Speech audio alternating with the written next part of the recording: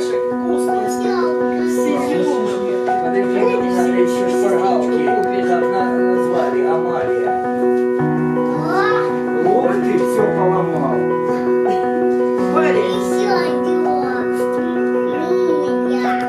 Как только я узнал, что у меня будет дочка, я очень обрадовался, ну, потому что я считаю, что братик и сестричка в семье – это идиллия.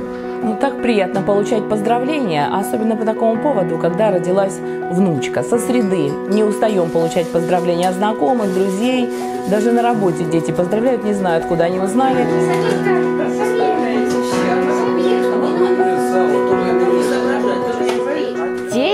Это большой-большой труд, но дети – это такая отдача, вознаграждается в сто крат, в миллион раз. Как бы ни ждал события, всегда оно происходит неожиданно. Вроде бы поехали с утра на прием, хобана, а в 12 часов в час уже звонят, что родилась внучка.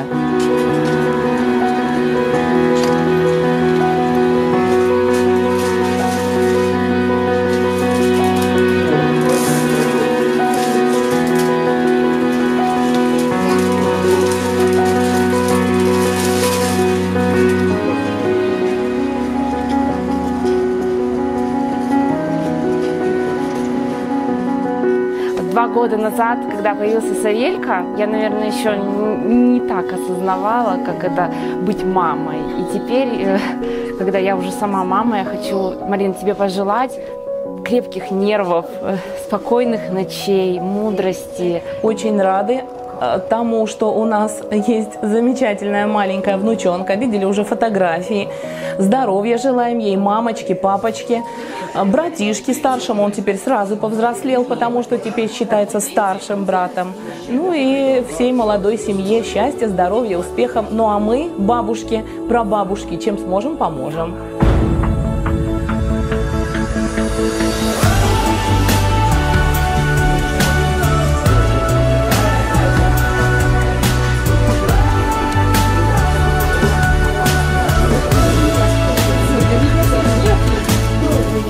Любите ее, оберегайте, растите, воспитывайте.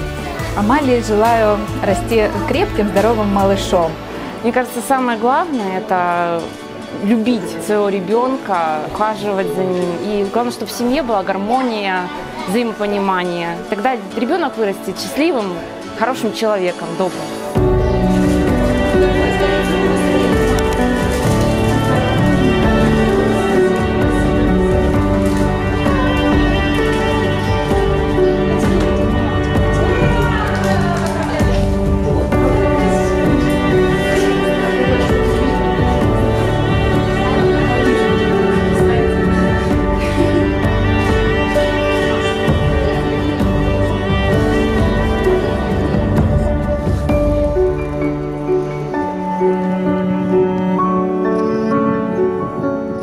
Дорогая Амалия, обещаю тебе быть очень хорошей мамой.